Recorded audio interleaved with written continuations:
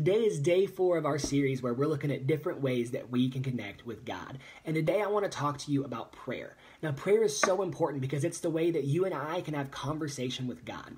And so today I'm going to talk about four steps that we can use when we pray. The first step is to worship. And this is an opportunity for us to praise God for who He is because who He is is worthy of our praise. The second step is confession. And this is a chance for us to acknowledge to God that we're sinful and we fall short of His expectations. And it's an ability for us to ask Him for forgiveness. And He promises that when we confess, He forgives.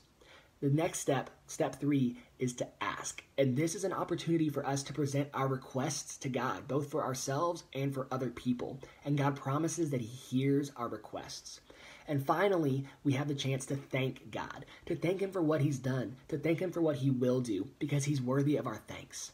So worship, confess, ask, thank.